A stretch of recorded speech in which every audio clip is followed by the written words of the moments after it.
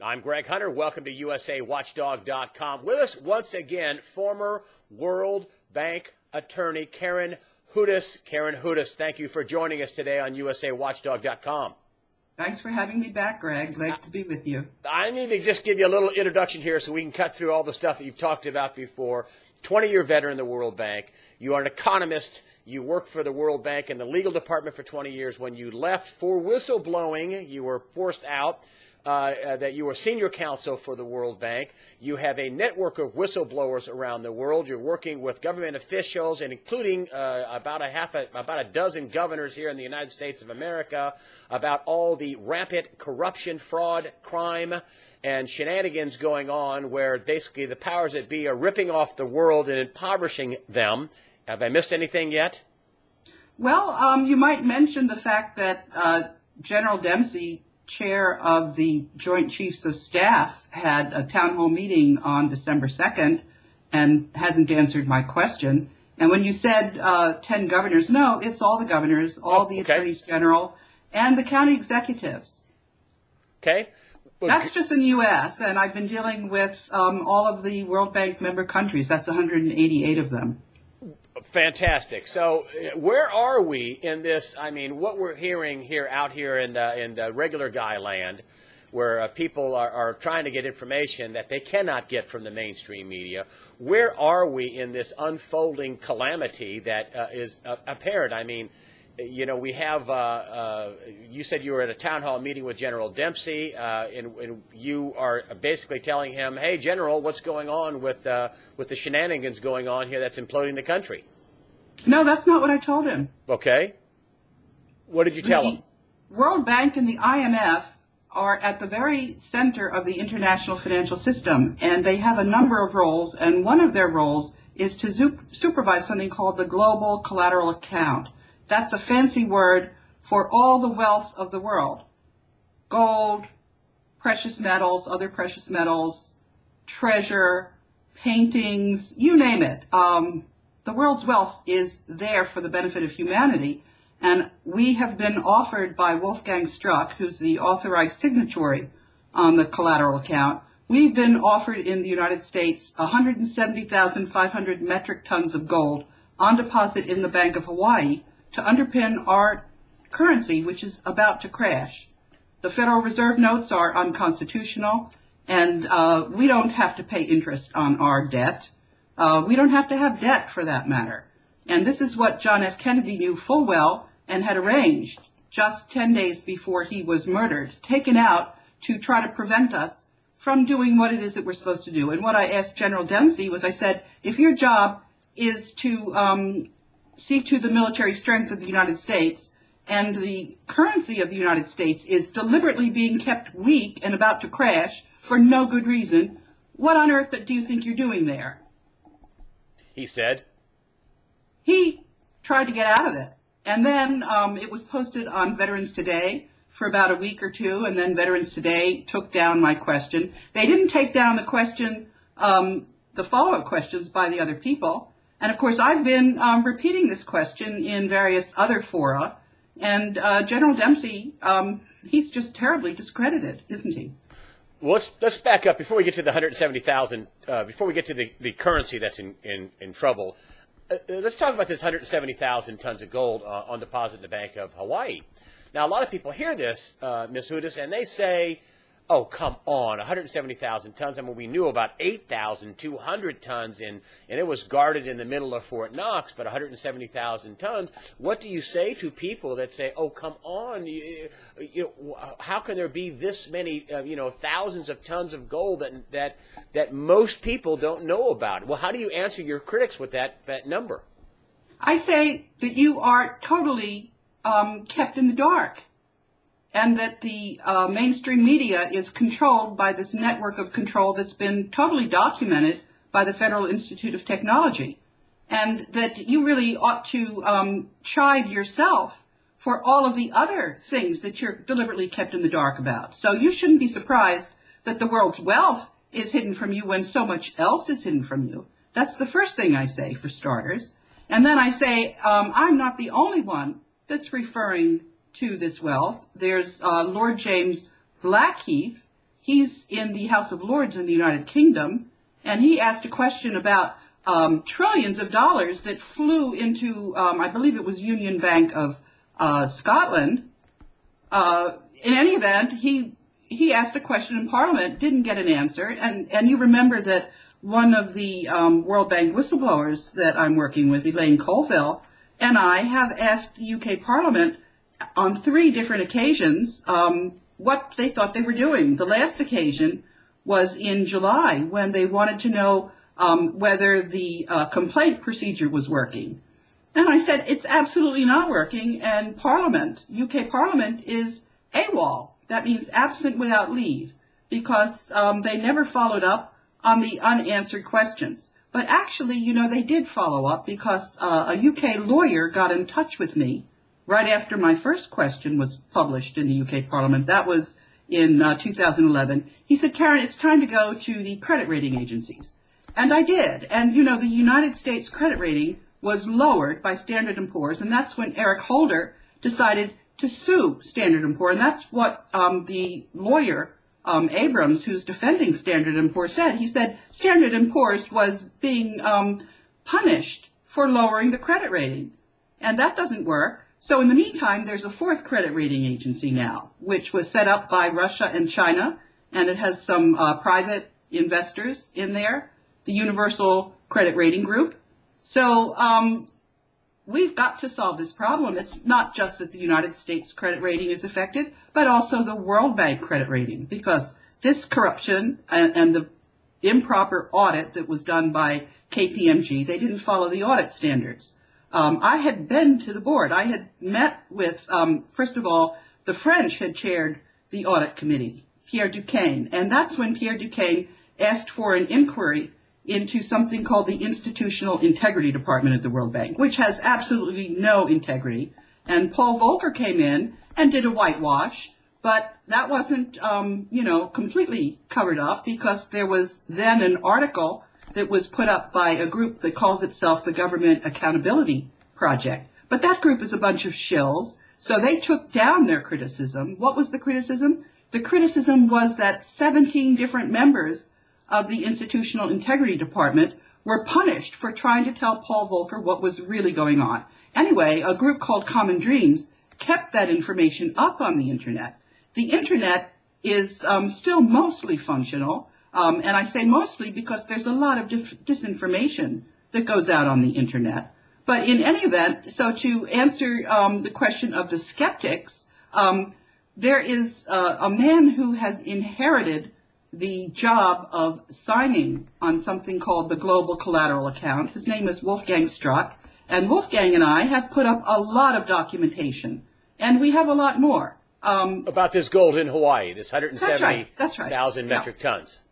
Yeah, and, and you know, it's kept in the Bank say, of Hawaii. There's no military guarding it. I mean, people look at oh, that. No, no, it's not gold that's there. What's there is a certificate. And the real gold is where we know where it is, but we don't have to tell everybody. Um, some people are saying we need pictures of gold bars. We can give you pictures of gold bars. Some people say the uh, pictures are photoshopped. Where are the gold bars? Where where is the gold? If it's not in Hawaii and it's just certificates, where is it? Okay, the gold itself is safe, and I'm not going to tell you, but we know where it is. And in the meantime, the okay. certificates are on deposit in all of the banks that are too big to fail that are really one bank. And we've got, you know, we've got the uh, signature of the officials. Some of those officials were placed there by Ferdinand Marcos, and they're betraying him. Um, one of the one of the interesting things. wait, wait, let, let, me back up here. Yeah. Let me back. Let me. I, I hit it. Well, what are the interesting things? Finish your thought, then I have another question. All right. Um, it, as I said, it's not just gold. This is the this is the wealth of humanity. It's also paintings. And recently, um, there were four paintings. One of them by Monet, um, the uh, water lilies, I believe it was, that uh, Ferdinand Marcos's um, or Imelda Marcos's maid tried to sell, and she was convicted of theft. And anyway, um, so I got in touch with the lawyers there and I said, you know, those paintings are actually part of the global collateral account. We're the ones, humanity is the one that's entitled to those paintings. And Wolfgang is asking me to follow up on that matter. Um, also to, to help educate people about the legality, the structure of where the world's wealth is. It's for benefit of humanity. Now let's back up to our to the currency. You said the currency, the United States dollar, is teetering on a collapse. Uh, there are all kinds of reports out and rumors out that we have four dead bankers here just just happened to you know commit suicide. One with a nail gun. One decided to throw himself off the 33 story uh, of, uh, of J.P. Morgan. Another one at Deutsche Bank hung himself. Another guy blew his brains out up in uh, in the Pacific Northwest. We've had four different bankers commit suicide, and they and there are all kinds of theories out there. Like they were getting ready to be to join your whistleblowing, uh, uh, you know, cadre of people to start blowing the whistle on all this corruption. Uh, also, uh, that that it, it, appears that you just said, and other people are saying the same thing. The U.S. dollar is teetering teetering on insolvency. Tell us how bad the, the U.S. dollar is, and can you join together these bankers that are killing themselves? Yes, one of the groups that I've been working with. You know, I've been working with a lot of people. Um, there, we're all humanity is actually united and pulling together, uh, and that includes the militaries, by the way. Um, one of the whistleblowers that joined me is um, a guy named Michael O'Bannon. That may just be, you know, um, a pen name, but he wrote a book, and the the summary of the book is very very interesting. It says that this world corruption depended on two things. It depended on complete secrecy of this structure of control. That didn't happen, obviously. We've, you know, we've documented exactly um, who's complicit. The um, we know the, we Knights know of Malta, you know, the secret societies. So so that that part doesn't work. And the other ingredient was that the um, military, the United States military, had to be content to be an enforcing arm. And instead, what you have is you have um, a whole series of um, events that show that the military is certainly not in the hip pocket of these corrupt entities. So, uh, for example, on October 8th, there was uh, an attempt to explode a nuclear device in uh, South Carolina over Charleston. There were there were reports about that. Yes, that's right. And what happened was uh, Major General Michael Carey. He was commander of the 20th Air Force, responsible for three wings of intercontinental missiles, and Vice Admiral Tim Giardina, who was in charge of the Navy's nuclear arsenal. Instead, they, they concocted a story why those two patriots needed to be fired. And then there, there was a whole series of other um, military officials that were fired. And this, you know, it was pretty clear what happened. But it looks like um, the bad guys are winning. I mean, it no, looks no. like they're winning. I mean, yeah, J.P. Morgan just paid another 614 million last week. Bank of America paid it, settled for 8.5 billion.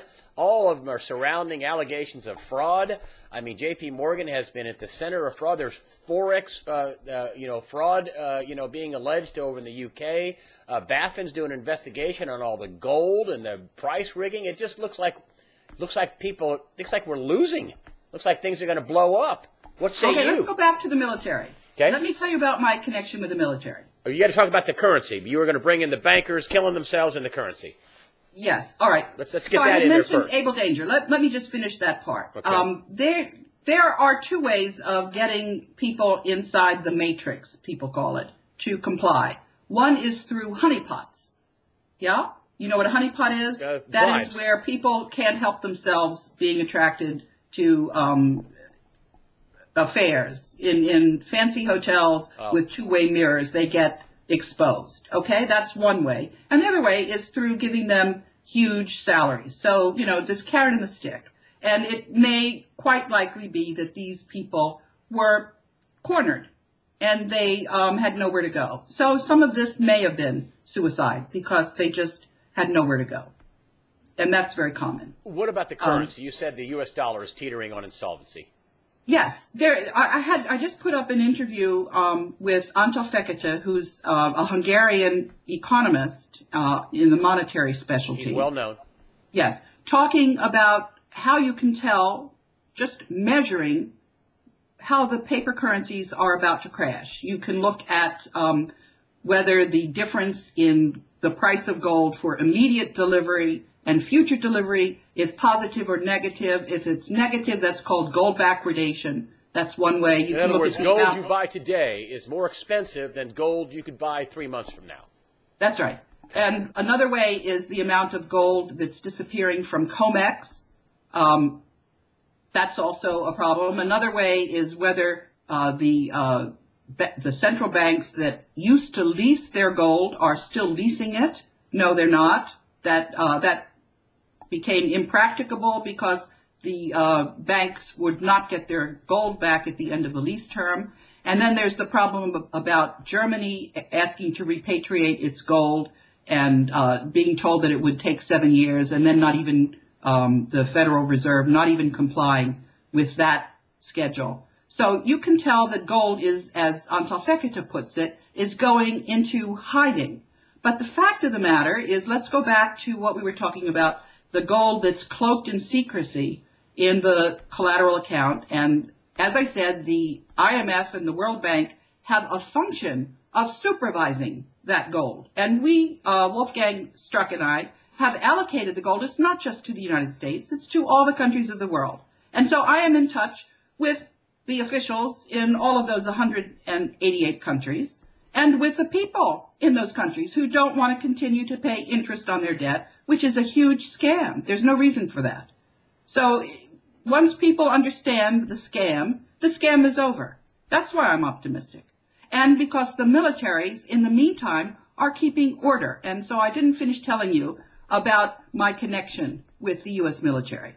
Uh, Chuck Hagel, when he was a senator in 2008, had written a book, and I went to his book signing, and I confronted him. I had also met with his staff member, and um, you know, I spoke to him about this very accurate power transition model, which was predicting that the United States was going to lose its leadership if we didn't separate ourselves from this corruption.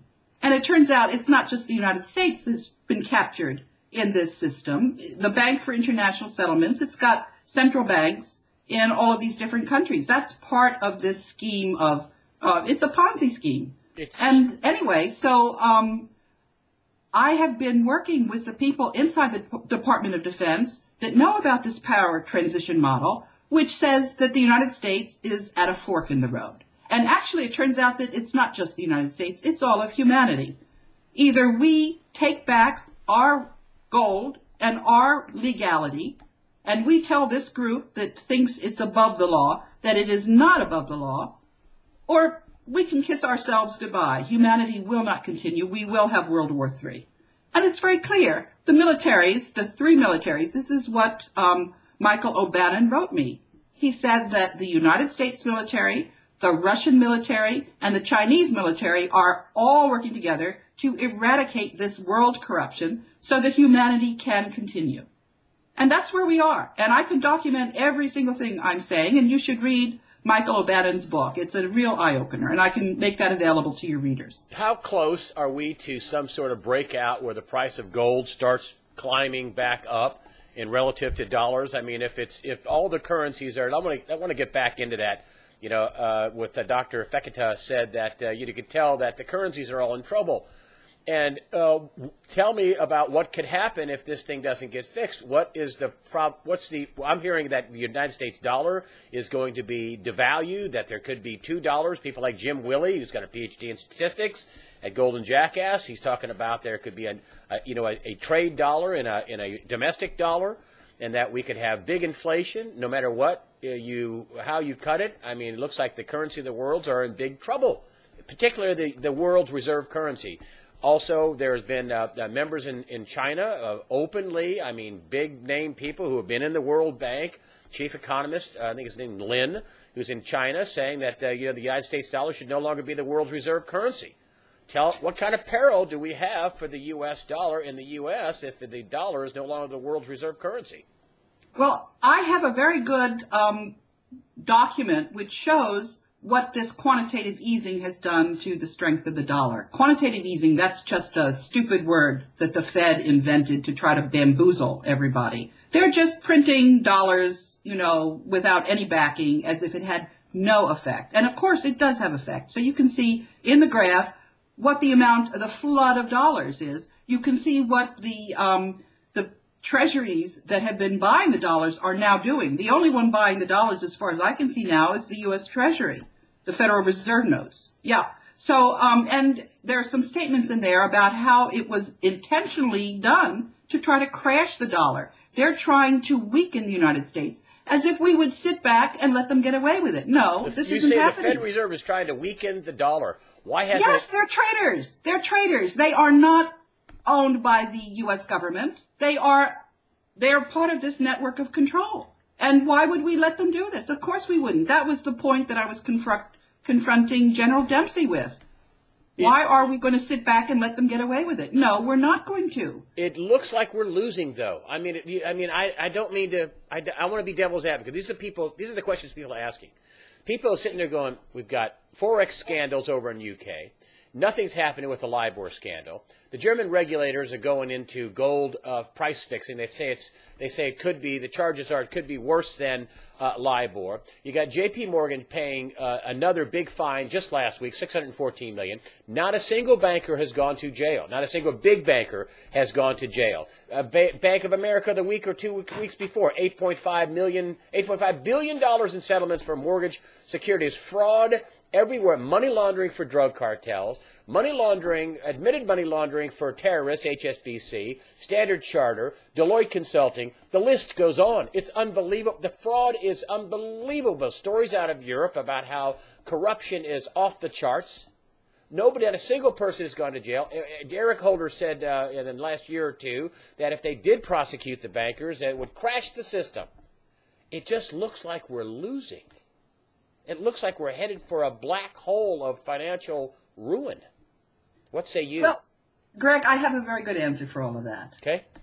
And that is if you look at this power transition model, which is 90 to 95% accurate, you can look at the literature on this model and you can look at the indicators that it's correct.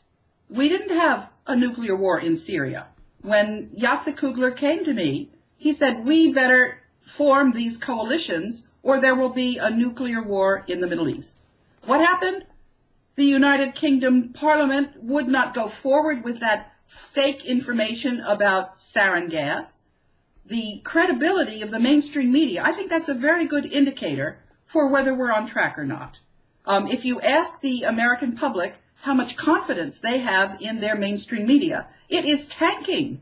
So, so the, the, that tool is now no longer in the arsenal of the um, the crooks, and that's the dynamic. And um, so the, this business about how do we know whether we're going to um, blow ourselves up with World War III or whether we're going to take back the rule of law and take back the gold that we own and that's there for us and that's been allocated to us by the authorized signatory.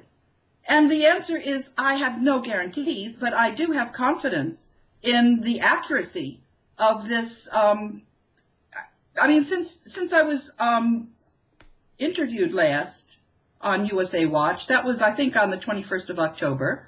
Um, we have made enormous strides. This group that I'm talking about. Tell us about some Um, of your strides because it, oh, the news looks like that these guys are winning. I mean, John Corzine is the head of the myRA program now, my retirement account.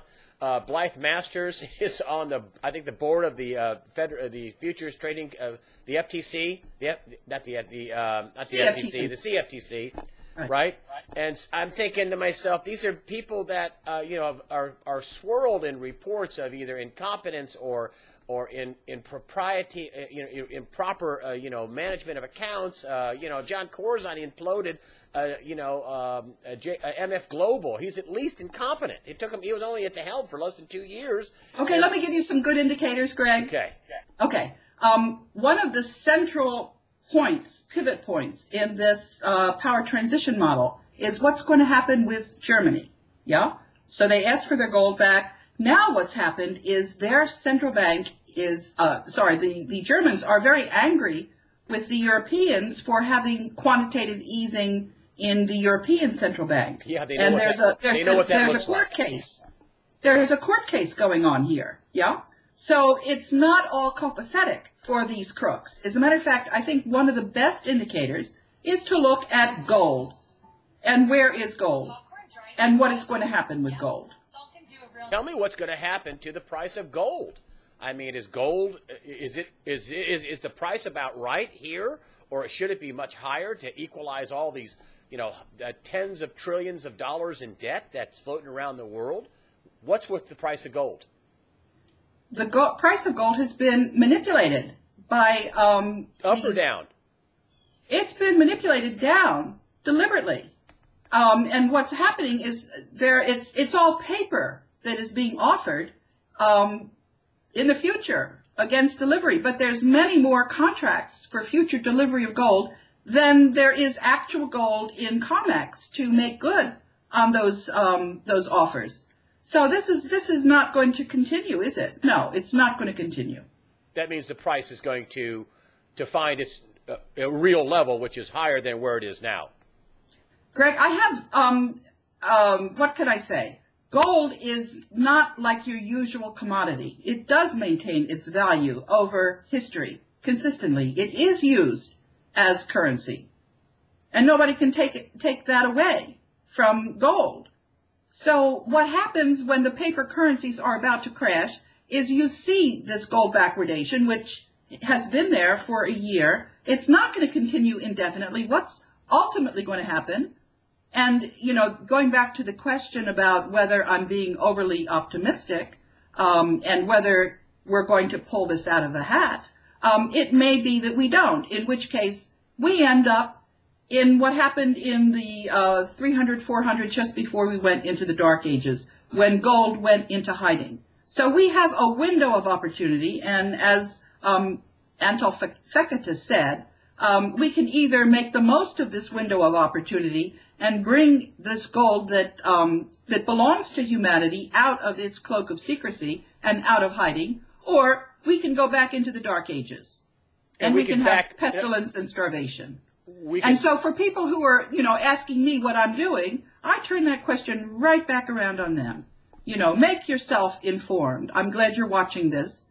And get with the program. Demand accountability. Demand that we have a strong dollar. Demand that the program that John F. Kennedy was putting into effect before he was murdered gets implemented. We have uncut dollars that are printed that just simply have to be cut and issued. Why don't we do this? Make they're, our they're not Federal Reserve clear. notes. If people don't understand this, when we give the Federal Reserve, uh, you know, treasuries, and then they give us Federal Reserve notes, we pay interest for them to print our money. We could just print our own money, is what you're saying. Yes. We could just and, print dollar. Like, a, and you know, the other thing is that you know, a, a dollar or a half dollar is a dollar, not a Federal Reserve coin. It's a a half dollar, a quarter dollar, or a dollar. That's right. And as Antal Fekete has mentioned, Federal Reserve notes are unconstitutional. And what, what we ultimately have in mind is that the um, gold that belongs to humanity would be coined. So there's no interest on it. It's honest money. And it may take a while to coin all this gold, obviously. So there would be paper certificates of gold in the interim. And, and then what we have in mind is nothing, actually, people are going to have to take charge.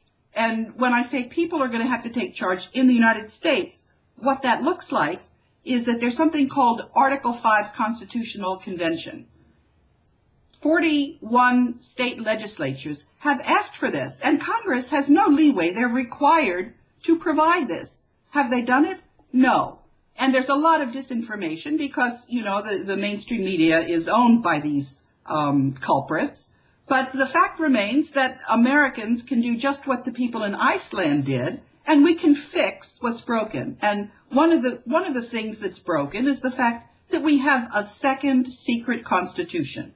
And a lot of people think I'm speaking uh, gobbledygook when I say this. I can show the skeptics uh, a meeting in 1995 of researchers in uh, Carolina who went into the uh, the second constitution was written in 1871, right after the Civil War, and um, so these researchers went back to see their governor's records and found out, yes, of course, there was um, a secret constitutional uh, that was put into place that was set up so that we people wouldn't actually have representation in Congress. The people in Congress would be managers of a corporation uh, and the states were also incorporated. This sounds ridiculous. But what's really ridiculous is that people don't know that this fact actually occurred. And I can show people the facts. The skeptics, I can absolutely prove this. Well, let's go back to gold. I want to just kind of end on because gold to me seems like a linchpin of what you're talking about. Is that right? Yes, because it shows the value. But you know, when people are also saying where is the the gold, gold. We can we can they say that the gold couldn't exist. I can show you um, how clear it is that the gold exists by showing you the charlatans that are trying to steal it from humanity illegally. You've got the Office of International Treasury Control that said they were entitled to it. You've got Swissindo that said they were entitled to it. You've got um, a crook by the name of Dr. Dr. Hendo Henderson who says he was entitled to it. And then you've got a, fool named James McBride who said he was entitled to it. So if there was no gold, why did they set up all these elaborate schemes to steal it? No, it's there. It's very much there. So let's talk about the currency being in trouble. How close are we to to having a currency crisis? You're saying that you can tell that you're close to a currency meltdown, a global currency meltdown because of gold. How close are we to a currency meltdown? We don't want to go there. But how I, close? I, I think I don't think we want to get close to the edge. Uh, It's been in gold has been in backwardation now, which Antal Fekete calls a red alert. We've been in red alert now for a year. Do we want to see um, how close we can get to the edge? Of course we don't. Why would we? It's time. It's time for us to take back our gold. and if we do go over the line, what happens? We go into the dark ages, just like we were in the 400s. Civilization breaks down. We can't pay for our international trade. Oh, that's profound. That means people would be bartering. No, there's no time to barter. Think about all of the goods would not even be available in the stores. People wouldn't want to sell them. Everybody would hoard everything they had. Everything. They would hoard That's water, right. food, uh, tools. They would hoard Yeah. capital. They would hoard gold. Would the currency be worth anything? Would dollars be worth anything? Would they work for a while? Well, there might be a period of time that you would have um, the, the prices changing, you know, doubling and tripling on a daily basis. And dollars It's would work. just paper. It's not backed by anything. This is this is what happens to paper currency. I was the uh, country lawyer in Argentina when uh, when their currency collapsed. I was the country lawyer in Nigeria when their currency collapsed. You you don't want to be there. It's not comfortable. Karen Hudes, former uh, World Bank attorney. Thank you for coming on and enlightening us. And we are all polling for you. I hope you come back and uh, and give us a progress report about what's going on. Okay. Thank you. And thank you for answering the tough questions about the gold, the skeptics. Uh, you know, uh, uh, thank you very much for not being uh, angry about me asking about these. Are all I've tried to hit the, questions that people wanted me to ask you when I, when you got in front of me via Skype and to ask you these questions. And thank you that I I, I appreciate you not being upset and angry about it. Thank you. Thanks for having me, Greg. Anytime.